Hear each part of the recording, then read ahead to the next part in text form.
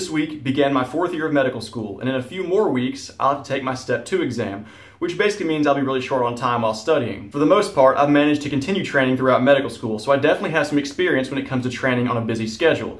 So in today's video, I want to talk to you guys about how to train effectively while on a very tight schedule. Now the first thing you're going to want to do is to optimize your training routine to best fit your life schedule. Now, everyone's schedules vary a lot from person to person, so don't think of these as steps to follow and more of just things to consider. One thing you should definitely think about is just how much of your week gets eaten up getting ready to work out. If your gym is a 15 minute commute away and you lift six days per week, you are eating up three hours of your week just getting to and from the gym.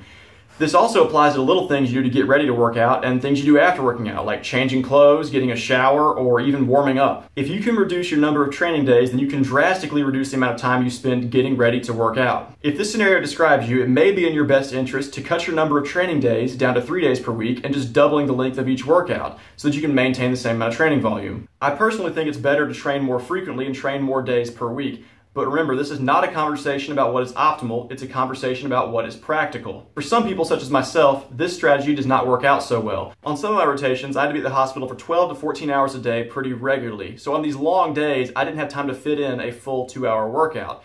So on this rotation, it made more sense for me to do seven days a week working out and do all my workouts as small bite-sized workouts, doing 45 minutes a day my weekly training time was about the same, but I was actually able to get through all my workouts. The main reason this worked out so well for me is because as you can see here, I have a home gym. This means that a higher training frequency does not significantly contribute to an increased amount of time commuting. I also have access to a gym at the hospital, which means I don't have to commute there either. If you can find a way to minimize or eliminate your commute by working out at work, at school, or at home, this higher frequency training may work out best for you.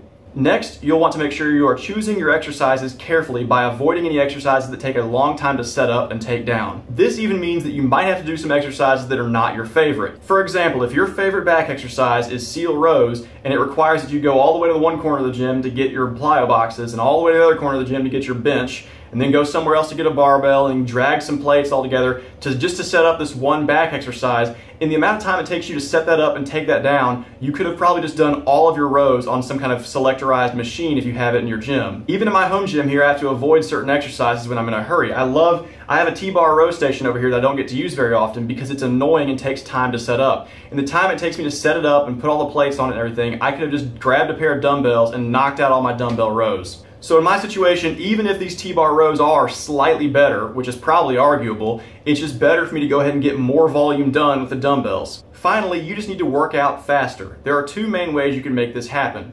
The first of which is to time your rest periods. Now for strength training, I think it's better to rest longer in general. I think if you need to rest five to seven minutes between each of your sets to make sure you're fully recovered and can use more weight on each set, I think that'll be better for your strength gains. But again, we're talking about what is practical here.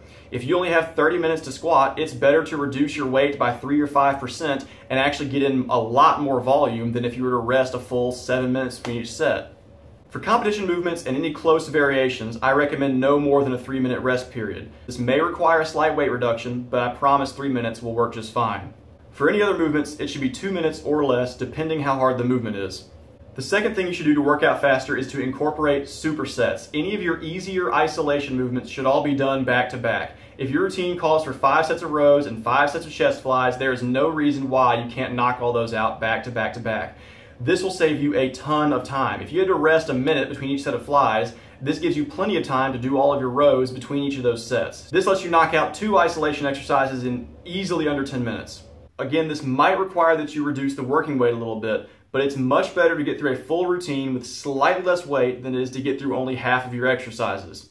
Alright, that's all the advice I have for training while busy. If you enjoyed the video, go ahead and give it a like, and don't forget to subscribe to the channel if you haven't already.